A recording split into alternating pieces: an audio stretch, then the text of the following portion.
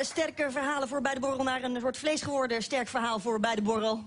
Tijd voor de column van onze columnist, Martijn Koning. Ik word verlegen van.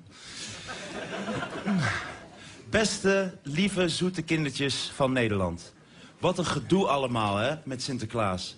Er zijn een aantal volwassen mensen die jullie prachtige Sinterklaasfeest kapot willen maken. Dit zijn bruine mensen. Het Sinterklaasfeest is een feest dat blank en zwart bij elkaar zou moeten brengen. Maar nee, er zijn weer een paar bruine spelbrekers... die in ons heerlijk oer-Hollandse folklorefeest... kleine details hebben gevonden die aangeven dat er misschien een kleine link te maken is... met de slavernij. Niet te verwarren met lekkernij. De slavernij is een hele korte periode in de geschiedenis van de mens geweest... waarin bruine mensen een tijdje keihard voor ons werkten en niet andersom. Slavernij heeft ons kleine landje groot gemaakt. Daar is niks mis mee. Op de gouden koets van de koning staan ook afbeeldingen van slavernij. Denken jullie dat de lieve koning daarin rond zou durven rijden als slavernij slecht zou zijn? Natuurlijk niet. Maar deze klagende bruine mensen wonen al heel lang in Nederland... en willen de echte Zwarte Pieten weg hebben. Een van deze klagende bruine mensen is Prem Radikishun. Die verkondigde smerige, vuile leugens over Sinterklaas bij De Wereld Draait Door. Prem Radikishun is een hele gemene, nare meneer. Of zoals jullie op het schoolplein zouden zeggen... een vieze, dikke kenkeleier. Ja, dat is een fout woord. Want jullie weten allemaal dat je kenkeleier eigenlijk met een A schrijft. Door al die klagende bruine mensen in Nederland wordt nu zelfs geopperd om een bruine Sinterklaas te nemen. Maar dat is natuurlijk niet realistisch. Want dan krijg je dus een hele domme Sinterklaas die continu de weg kwijt is... of liever gaat basketballen met zijn matties. Of je krijgt op pakjesavond helemaal geen cadeaus... omdat de bruine Sint alles naar zijn familie in Suriname heeft gestuurd. Het is daarnaast ook zeer onrealistisch om geen blanke leidinggevende persoon te hebben... die een beetje structuur aanbrengt. Je ziet wat er gebeurt als er een hele zooi zwarte pieten... zonder een leidinggevende blanke uit Somalië of Oeganda... in een boot of vlot naar een ander land vaart. De helft is bij aankomst al overleden. Waarschijnlijk hebben ze wel drie keer zoveel afstand afgelegd... omdat ze te veel aan één kant hebben zitten roeien. Dat was tijdens de goed georganiseerde slavernij wel anders.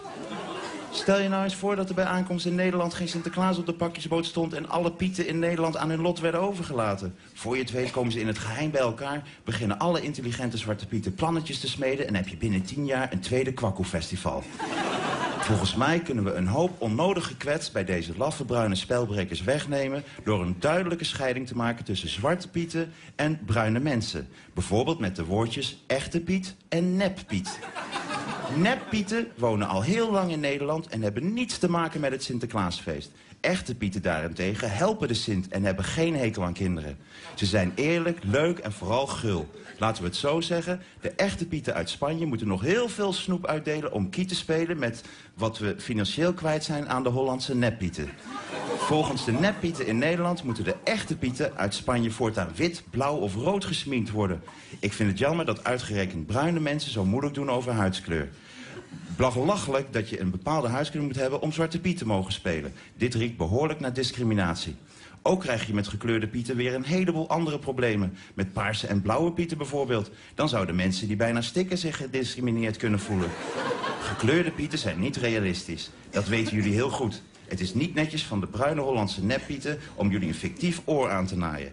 Echte pieten uit Spanje komen oorspronkelijk nou eenmaal uit Afrika... waar heel veel zwarte mensen wonen. Daarom is het daar ook zo warm, omdat zwart warmte aantrekt. Je kan alles wel willen veranderen aan bepaalde tradities... omdat er altijd wel mensen zijn die zich gekwetst voelen. Nog even en de prostituees mogen geen seks meer hebben... omdat anders het kind van Sylvie Meijs een verkeerd beeld van zijn moeder krijgt.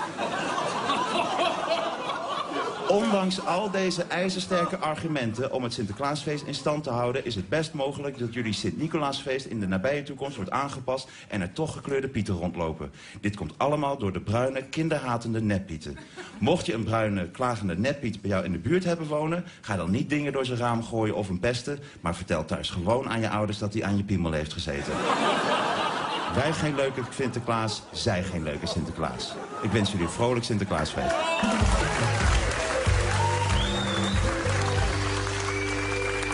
Dat was de van